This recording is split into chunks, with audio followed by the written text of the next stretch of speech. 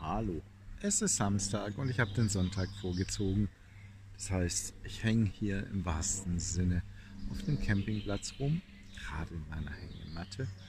Und ähm, ja, und ich nutze den Tag, um äh, alle meine Akkus aufzuladen, weil es ist alles leer.